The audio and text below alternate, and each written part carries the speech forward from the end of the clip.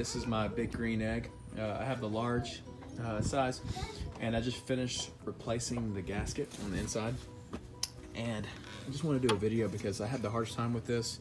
I took the top off the green egg to replace the gasket, and I'm not too sure I will do that again. Just because once you take it off and loosen some bolts in the back, it's hard to get the alignment like it was the uh, before you started messing with all those bolts and screws and springs back there. But um, word to the wise: do not replace your gasket if it is below 50 degrees Fahrenheit outside because the adhesive is not going to stick. And just it's as soon as you lay it down, it's going to come right back up or want to come back up. Um, but um, I had this problem in the back right there, so uh, that's the reason why it looks kind of raggedy back here. But um, hopefully after a few cooks, it'll and uh, just some pressure on the lid.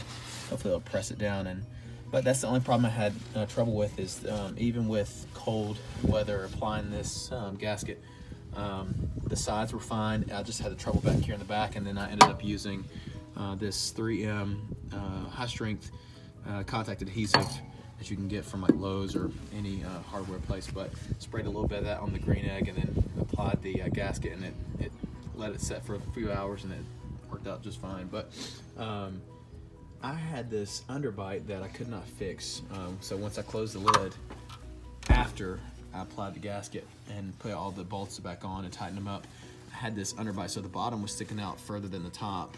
Um, and that uh, concerned me because just the life of the gasket, I wasn't sure if that was going to affect it, if there was going to be any kind of leakage or anything like that, um, messing with the temperature. So um, just did my own research, but all the videos that I saw, there wasn't a clear description. So what I'm gonna try to do is give a good description of what I did and how I fixed this problem. So first things first, you open up the green egg dome and take off these springs, which I was able to do with my hands. They're not real tight or anything, but obviously, but take them off with your hands. Once the springs are off, shut the dome.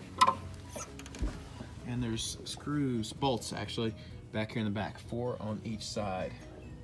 So what I did was I loosened these four, I loosened these four, and then I loosened the brackets here. Um, and then once I did that, I was able to reposition the dome to where it was flush all the way around with the bottom. So um, once you get it flush all the way around, what I did is I tightened the top left bolts first, and then I went to the bottom right bolts, then the top right bolts, and then the bottom left bolts tighten those pretty, pretty tight. And I've tightened these uh, bolts and screws here to where the bracket's gonna hug against the dome and then the um, base of it.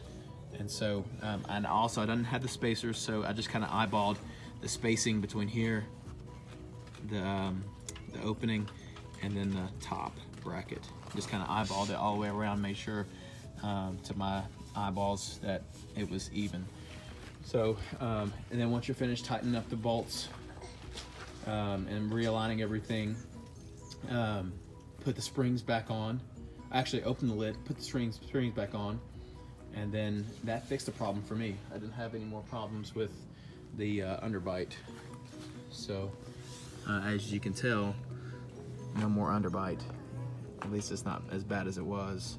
I mean, it doesn't it doesn't look as bad here and that was probably about like it was on the original part of my dome. So I hope that this video is of some help.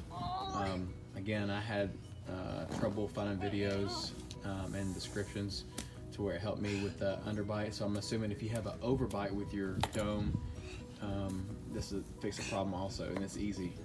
So hope you guys enjoyed the video.